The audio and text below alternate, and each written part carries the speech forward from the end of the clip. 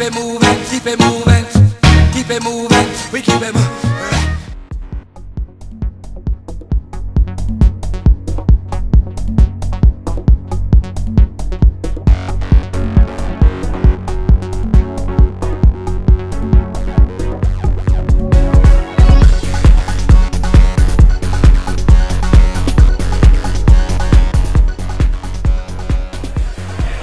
And gentlemen, welcome back to BTE TV. We are at Fashion Week, and you never know what you might see and the beautiful, you know, line of design. I have Julie here. Julie, you have the umbrella dress. It is gorgeous, and the model's amazing. Talk about this dress. Well, I designed, um, I'm a fashion stylist and I do costume designing. So Orbit Mist Gum contacted me to do their campaign. So I designed three different looks and these are one of the, one of the dresses is an umbrella dress. So everything is literally made from an umbrella.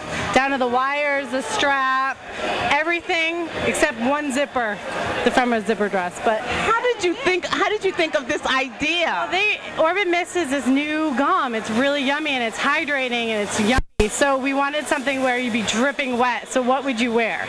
Umbrella. Uh, or and we have a shower curtain suit and I did a mock dress. So we did three different looks for their ad campaign. So yeah, that's it. It's really fun. That this is it. This is a shower curtain, and we did it all a tailored men's suit. This is Sam, our model. Yeah. This is beautiful. I think you guys look great. It's, yeah, I mean, it feels great. I, it's a little sweaty, but it's great. I, I, have gotten so many compliments on it already. I'm um, He's hydrating and, you know, if he, has, he doesn't have to take a shower. I know, so we thought that would be really fun and it's just cool and you, you, you get it, you know it's a shower curtain. So why not do goldfish? Like it's fun, it's kitschy, it's cool, and it's, I, it's really slick men's suit. You did a great job. And how do you feel in your umbrella dress? Let's get this. How do you feel in your dress? I feel really great. Everybody's been running up to me like, oh my God, look at that dress. And I've been doing my little poses and I feel so cute. And I'm not going to get rained on. So I, Oh, you're not, but you won't, you won't get a seat on the train, but you don't care, right? I don't care. I don't care. I'm just going to strut.